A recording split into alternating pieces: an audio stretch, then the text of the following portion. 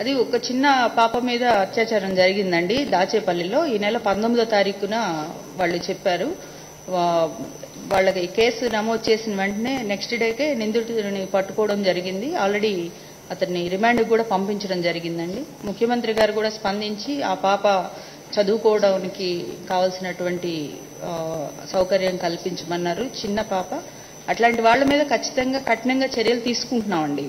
వెంటనే యాక్షన్ తీసుకోవడం జరిగింది. అతన్ని కూడా నిందితుడిని కూడా అరెస్ట్ చేయడం జరిగింది.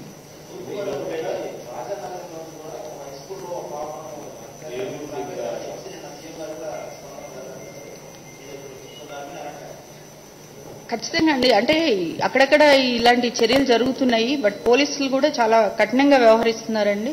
నిందితుల మీద వెంటనే యాక్షన్ తీసుకుంటా ఉన్నారు. ఎక్కడా కూడా డిలే జరగడం లేదు.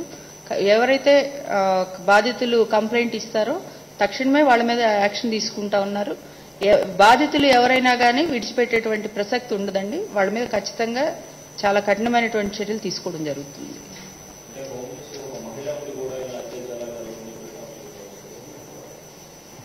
ప్రతి అంటే మీరు చూడండి మనం వచ్చేసి నేను చెప్పడమో ఇంకొకటి కాదు.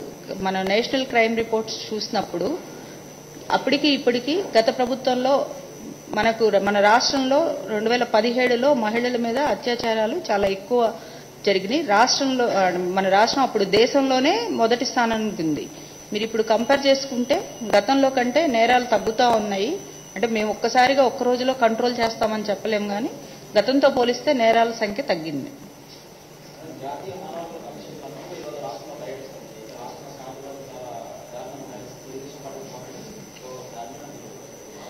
ప్రతిదానికి చంద్రబాబు నాయుడు గారు రాజకీయం చేస్తున్నారండి. అక్కడ ఏమీ లేని దాన్ని కూడా పల్నాడులో ఏదో జరిగిపోతుందని చెప్తా ఉన్నారు.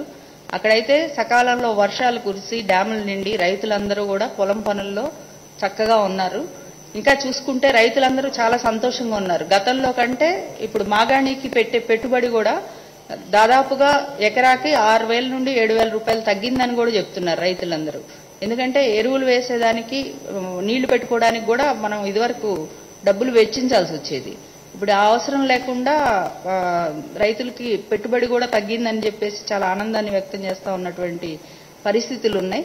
మరి ఓర్వలేక చంద్రబాబు నాయుడు గారు జగన్మోహన్ రెడ్డి గారు ఏవైతే ఎన్నికల హామీలు ఇచ్చారో అవన్నీ కూడా ఎనభై శాతం ఇప్పటికే నెరవేర్చే దిశగా ముందుకు అడుగులు వేయడం జరిగింది.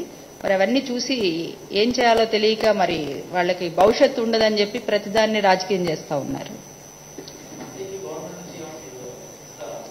ఏది? వాళ్ళు నిజ నిర్ధారణ కమిటీ అండి. వెళ్తారు గ్రామాల్లో ఎంక్వైరీ చేసుకుంటారు. దాని మీద ఎవరి యొక్క ప్రభావం ఉండదు. అక్కడ వాస్తవ పరిస్థితులు తెలుసుకోవడానికి వచ్చారు. ఖచ్చితంగా తెలుసుకోవడానికి కావాల్సిన సహాయం ఏదన్నా ఉంటే అందిస్తామండి.